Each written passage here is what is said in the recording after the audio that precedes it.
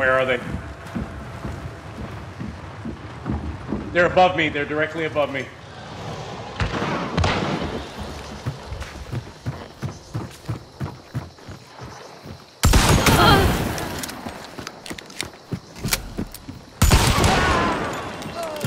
Another one, uh, for, there's three people